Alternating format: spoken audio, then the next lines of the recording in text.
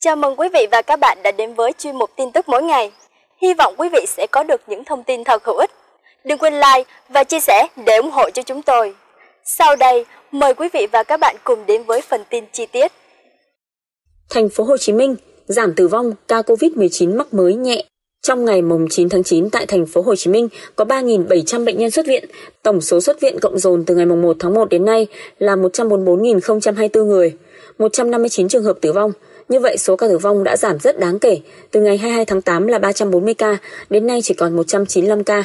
Ông Phạm Đức Hải, Phó trưởng ban chỉ đạo phòng chống dịch COVID-19 thành phố Hồ Chí Minh cho biết, tổng số mũi vaccine mà thành phố đã tiêm đến ngày 9 tháng 9 là hơn 7,3 triệu. Thông tin về việc thành phố Hồ Chí Minh xây dựng kế hoạch phòng chống dịch COVID-19 từ sau ngày 15 tháng 9, theo ông Hải, thành phố đã thành lập 4 tổ công tác về phòng chống dịch COVID-19, an sinh xã hội, phục hồi kinh tế, thúc đẩy các dự án đầu tư. Hiện nay, 4 tổ công tác đang khẩn trương xây dựng kế hoạch kịch bản theo hai giai đoạn. Quá trình xây dựng kế hoạch, tổ công tác lấy ý kiến sở ngành liên quan, cơ quan đơn vị, chuyên gia, nhà khoa học, sau đó sẽ hoàn chỉnh và ban hành chính thức.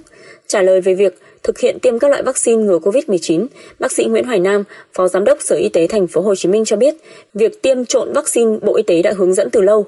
Đối với các trường hợp thiếu vaccine, Bộ Y tế đã có hướng dẫn tiêm chủng vaccine Pfizer mũi 2 cho những trường hợp tiêm mũi 1 Moderna. Mới đây, Bộ Y tế cũng đã họp hội đồng khoa học để thống nhất cho tiêm trộn Pfizer mũi 1 và Moderna mũi 2 hoặc ngược lại. Với AstraZeneca cũng vậy. Đối với người nước ngoài sinh sống trên địa bàn, quan điểm của thành phố là không có sự phân biệt. Thành phố đã tổ chức tiêm miễn phí cho rất nhiều người nước ngoài. Thống kê của các quận huyện chưa đầy đủ nên chưa có số liệu cụ thể, nhưng tất cả người nước ngoài đều được tiêm chủng mũi 1 và mũi 2 khi đến thời hạn. Liên quan đến số ca nhập viện hiện nay, bác sĩ Nguyễn Hoài Nam cho biết hiện trung bình mỗi ngày có khoảng 3.500 đến 4.000 ca nhập viện. Tuy nhiên, đa số các ca nhẹ không triệu chứng. Rất nhiều trường hợp F0 sau khi phát hiện được chăm sóc tại nhà. Hiện lý do giúp số ca tử vong ở thành phố Hồ Chí Minh giảm dần. Trước đây, hàng ngày đi trên đường, số xe cấp cứu rất nhiều, nhưng gần đây đã ít đi. Điều này cho thấy dấu hiệu chuyển nặng đã giảm đi đáng kể. Đó là chia sẻ của Phó Giám đốc Sở Y tế thành phố Hồ Chí Minh Nguyễn Hoài Nam về tín hiệu tích cực của hệ thống điều trị tại buổi họp báo cung cấp thông tin dịch COVID-19 chiều mùng 10 tháng 9. Theo thống kê hàng ngày của Sở Y tế thành phố Hồ Chí Minh, lượng bệnh nhân COVID-19 tử vong đang có chiều hướng giảm dần trong khoảng 10 ngày trở lại đây. Dù chưa đạt kỳ vọng, song đồ thị có chiều hướng đi xuống là tín hiệu vui ban đầu cho thấy nỗ lực của toàn thành phố dần có hiệu quả. Lãnh đạo các bệnh viện giã chiến, khu điều trị bệnh nhân COVID-19 tại tầng 1 và tầng 2 cho biết, thời gian gần đây số lượng F0 chuyển nặng và tử vong đã giảm đáng kể. Bác sĩ Nguyễn Thành Tâm, trưởng phòng kế hoạch tổng hợp bệnh viện giã chiến số 1 thành phố Hồ Chí Minh cho biết, tình hình điều trị tại đơn vị này đang có nhiều tín hiệu đáng mừng. Theo báo cáo giao ban trưa mùng 10 tháng 9, lượng bệnh nặng tại các trung tâm hồi sức nói riêng và các bệnh viện điều trị COVID-19 thuộc tầng 2, tầng 3 nói chung đều giảm thấy rõ. Tại bệnh viện giã chiến số 1, lượng bệnh nặng giảm hơn 60 đến 70%, bác sĩ Tâm vui mừng thông báo. Tầng 2 là tuyến điều trị ngành y tế thành phố Hồ Chí Minh đặt nhiều kỳ vọng trong việc kéo giảm số ca tử vong. Bác sĩ chuyên khoa 1 Phạm Hữu Tiến, trưởng khoa hồi sức cấp cứu bệnh viện quận Bình Thạnh cho biết, số F0 điều trị tại đơn vị này còn nhiều, song công tác chuyển tầng điều trị tương đối ổn định so với giai đoạn trước. Tỷ lệ tử vong tại đây đã giảm, những ca tử vong gần đây thường là do bệnh đã diễn biến quá nặng hoặc lớn tuổi, nhiều bệnh nền đi kèm, khó điều trị, bác sĩ Tiến chia sẻ. Bác sĩ Nguyễn Viết Thịnh, Phó Giám đốc Bệnh viện Điều trị Bệnh nhân COVID-19 Bình Chánh số 1 huyện Bình Chánh, cũng cho biết các y bác sĩ tại đây đang nỗ lực theo dõi, điều trị tốt nhất cho F0 có dấu hiệu chuyển nặng. Dù số F0 nhập viện tại đây vẫn còn cao, lượng bệnh nhân tử vong đã giảm nhiều. Ông Nguyễn Trọng Khoa, Phó Cục trưởng Cục Quản lý Khám chữa bệnh Bộ Y tế cho biết, để giảm tải số ca mắc COVID-19 tử vong, Bộ Y tế đã triển khai đồng thời ba nhóm giải pháp tác động vào cả ba tầng điều trị. Đầu tiên là quyết định thành lập các trung tâm hồi sức tích cực quốc gia để điều trị ca bệnh nặng, giảm dồn ứ tại tầng dưới. Ngay từ khi thiết lập và vận hành, chúng tôi đã thấy rõ áp lực ở tuyến dưới được giảm tải hơn rất nhiều. Ông Khoa nói, Giải pháp thứ hai là nâng cao năng lực chuyên môn, khả năng đáp ứng của các bệnh viện giã chiến, bệnh viện điều trị COVID-19 ở quận huyện. Điều này được thực hiện thông qua việc trao đổi chuyên môn từ các chuyên gia, khắc phục khó khăn cho cơ sở tầng 2. Nhờ đó, cơ sở vật chất, chuyên môn, tổ chức quản lý ở tầng 2 được cải thiện rõ rệt. Giải pháp thứ ba là can thiệp sớm cho F0 tại tầng 1, đó là việc triển khai gói thuốc điều trị F0 tại nhà. Việc thành lập sớm và đưa vào hoạt động trạm y tế lưu động đã giúp can thiệp kịp thời những trường hợp cần hỗ trợ y tế. Chính vì vậy, số lượng F0 diễn biến nặng mà không được can thiệp kịp thời đã giảm đi nhiều. Ông Khoa nói, Vị lãnh đạo này cũng nhận định các giải pháp này bước đầu đã mang lại hiệu quả. Tuy vậy, con số tử vong vẫn còn khá cao do ca mắc tương đối lớn, số ca nặng còn nhiều. Để đánh giá được số bệnh nhân tử vong có giảm thực sự hay không, chúng ta cần dựa trên số lượng bệnh nhân nặng, số bệnh nhân cần hồi sức cấp cứu thì sẽ dự đoán được xu hướng. Theo đánh giá của tôi thì con số này sẽ giảm trong thời gian tới, ông Khoa cho biết. Giáo sư Nguyễn Quang Tuấn, Giám đốc Bệnh viện Bạch Mai, kiêm Giám đốc Trung tâm Hồi sức Bệnh viện COVID-19 tại Bệnh viện Giã chiến số 16 cho biết, để giảm lượng F0 chuyển nặng và tử vong từ tuyến dưới, đơn vị này tổ chức đánh chặn từ xa. Chúng tôi đưa các chuyên gia đầu ngành xuống các tầng thấp hơn để hỗ trợ điều trị cầm tay chỉ việc, từ đó giảm đáng kể số lượng bệnh nhân nặng chuyển tầng, giáo sư Tuấn nói. Đánh chặn từ xa cũng là chiến lược mà tiến sĩ bác sĩ Nguyễn Tri Thức, giám đốc bệnh viện Trợ Rẫy, kiêm giám đốc bệnh viện hồi sức COVID-19 thực hiện hỗ trợ bệnh viện điều trị F0 tuyến dưới.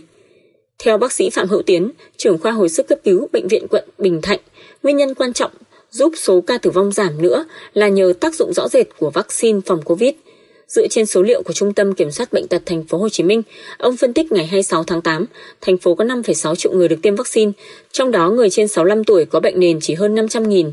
Đến mùng 8 tháng 9, toàn thành phố đã có hơn 7 triệu người được tiêm vaccine và người trên 65 tuổi có bệnh nền là hơn 775.000 người. Nhìn vào số người được tiêm chủng và số ca tử vong, cho thấy hai chiều lên xuống trái ngược. Số người được tiêm vaccine trong 14 ngày gần đây tăng nhanh, nhất là người lớn tuổi, người có bệnh nền, nên tỷ lệ chuyển nặng ít hơn dù số ca mắc chưa giảm nhiều. Từng tham gia điều trị COVID-19 vừa và nặng tại nhiều cơ sở y tế, bác sĩ Tiến nhận định nhân viên y tế tại các bệnh viện dã chiến thường trái chuyên khoa, công tác điều trị hồi sức cấp cứu bước đầu chưa quen. Qua thời gian điều trị, kinh nghiệm của y bác sĩ đã dày dặn hơn nữa. Bên cạnh đó, các chuyên gia tuyến trên còn hỗ trợ hội trần từ xa, giúp bác sĩ đánh giá tình trạng và điều trị F0 tốt hơn. Hy vọng số ca tử vong sẽ tiếp tục giảm này một cách bền vững. Mong là đến khoảng cuối tháng 9 các bệnh viện điều trị đều bớt quá tải. Hiện tại, số ca mắc mới COVID-19 mỗi ngày tại thành phố Hồ Chí Minh vẫn ở mức cao. Ngày 3 tháng 9, toàn thành phố có 8.449 ca, con số kỷ lục từ đầu dịch đến nay.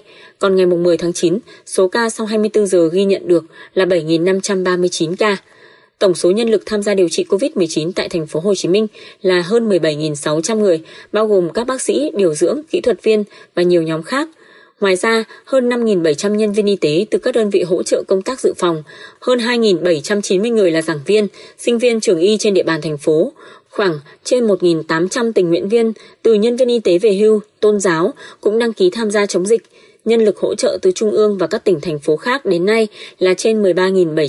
Sáng ngày 11 tháng 9, hơn 350.000 ca COVID-19 đã khỏi. Đồng Nai tìm thấy F0 thứ ba trốn khỏi khu cách ly. Kể từ đầu dịch đến nay, Việt Nam có 589.417 ca mắc COVID-19. Có 10 trên 62 tỉnh, thành phố đã qua 14 ngày không ghi nhận trường hợp nhiễm mới trong nước. Đó là Bắc Cạn, Tuyên Quang, Lai Châu, Hòa Bình, Yên Bái, Hà Giang, Thái Nguyên, Điện Biên, Vĩnh Phúc, Hải Phòng. Có 7 tỉnh thành phố không có ca lây nhiễm thứ phát trên địa bàn. Trong 14 ngày qua là Thái Bình, Phú Thọ, Con Tum, Hà Nam, Hải Dương, Quảng Ninh, Lào Cai. 5 tỉnh thành ghi nhận số ca mắc cao là thành phố Hồ Chí Minh, Bình Dương, Đồng Nai, Long An, Tiền Giang. Tình hình điều trị bệnh nhân COVID-19, số bệnh nhân được khỏi bệnh cho đến nay là 350.921, số bệnh nhân nặng đang điều trị là 5.970 ca. Trung bình số bệnh nhân tử vong ghi nhận trong 7 ngày qua là 302 ca, nâng tổng số ca tử vong do COVID-19 tại Việt Nam đến nay là 14.745 ca. Theo số liệu thống kê của trang mạng Worldometers.info, Cập nhật đến 6 giờ sáng 11 tháng 9 theo giờ Việt Nam, tổng số ca bệnh COVID-19 trên toàn cầu là trên 224 triệu 500 nghìn ca, trong đó trên 4 triệu 600 nghìn người tử vong. Các nước cũng ghi nhận trên 201 triệu bệnh nhân được điều trị khỏi, số ca đang điều trị tích cực là gần 19 triệu ca và trên 103.000 ca hiện trong tình trạng nguy kịch. Ngày 10 tháng 9, thế giới có 105 quốc gia và vùng lãnh thổ ghi nhận ca COVID-19 mới. 84 quốc gia và vùng lãnh thổ có các ca tử vong vì đại dịch. Mỹ vẫn là quốc gia chịu tác động nặng nề nhất với trên 41 triệu 700 nghìn ca mắc và trên 676.300 ca tử vong. Tiếp đến là Ấn Độ và thứ ba là Brazil. Nhiều nước Á Âu tình hình vẫn đáng ngại với sự bùng phát của biến chủng virus Delta hết sức nguy hiểm. Đặc biệt, Mỹ, Ấn Độ, Iran, Anh và Brazil, số ca mắc mới vẫn cao một cách đáng báo động. Mỹ lại quay lại vị trí quốc gia có số ca mắc mới và tử vong trong ngày cao nhất thế giới. Đồng Nai đã tìm thấy ca F0 thứ ba trốn khỏi khu cách ly. Ngày 10 tháng 9, Công an thành phố Biên Hòa, Đồng Nai đã tìm thấy Huỳnh Thị Oanh Thảo, 31 tuổi, ngụ phường Tân Phong, thành phố Biên Hòa, là đối tượng đã bỏ trốn khi đang điều trị tại Bệnh viện Đa khoa Thống nhất do nhiễm Covid ngày 4 tháng 9. Đây là đối tượng thứ ba bỏ trốn khỏi các khu cách ly đã được lực lượng công an tìm thấy. Sau nhiều ngày trốn khỏi bệnh viện, lực lượng công an đã phát hiện Thảo đang ở tại KP11, phường Tân Phong, thành phố Biên Hòa. Đối tượng này sau đó đã được giao cho lực lượng y tế để tổ chức cách ly theo quy định. Bình Dương, hơn 98.600 bệnh nhân COVID-19 xuất viện. Ngày 10 tháng 9, Bình Dương có 4.441 bệnh nhân COVID-19 khỏi bệnh được ra viện, nâng tổng số bệnh nhân khỏi bệnh lên 98.617 người. Theo bảng số liệu điều trị trong ngày, tầng 1A thu dung điều trị bệnh nhân nhẹ vẫn là nơi có số bệnh nhân xuất viện nhiều nhất với 3.226 người, sau đó là tầng 1 ghi nhận 1.115 người, tầng 2 78 người và hai cơ sở điều trị bệnh nhân nặng ở tầng 3 cũng ghi nhận 22 bệnh nhân xuất viện. Trong tổng số 18 cơ sở điều trị bệnh nhân COVID-19 ở tầng 1 thì bệnh viện Giã chiến Thái Hòa thị xã Bến Cát có bệnh nhân xuất viện nhiều nhất với 667 người. Cũng tối mùng 10 tháng 9, Sở Y tế thông báo toàn tỉnh ghi nhận 3.563 ca mắc, giảm 968 ca so với ngày mùng 9 tháng 9. Long An không còn huyện nào thuộc vùng đỏ. Ngày mùng 10 tháng 9, tỉnh Long An cho biết tỉnh này đã tiêm được trên 1 triệu 300 nghìn liều vaccine mũi 1, số người được tiêm cao hơn so với danh sách dự kiến theo giả soát ban đầu. Đến nay, Long An đã ghi nhận trên 27.500 ca mắc COVID-19, trong đó trên 21.400 ca điều trị khỏi, 331 ca tử vong. Những ngày qua, số ca mắc mới tại tỉnh này có xu hướng giảm dần. Mới nhất ngày 9 tháng 9, tỉnh này phát hiện 323 ca, tiếp tục giảm so với những ngày trước đó là 410 ca, 371 ca và 492 ca. Đặc biệt, dựa theo đánh giá mức độ nguy cơ mà Ban Chỉ đạo Quốc gia phòng chống dịch COVID-19 ban hành, hiện Long An không còn huyện vùng đỏ, chỉ còn huyện Đức Hòa, Bến Lức và thành phố Tân An thuộc vùng cam và huyện Cần Duộc thuộc vùng vàng. Còn lại 11 huyện thị của tỉnh đều đã là vùng xanh. Hiện tại vẫn còn 7 huyện, thành phố của Long An tiếp tục thực hiện giãn cách tối đa theo chỉ thị 16 tăng cường đến hết 13 tháng 9, còn 8 huyện thị xã đã áp dụng giãn cách theo chỉ thị 15.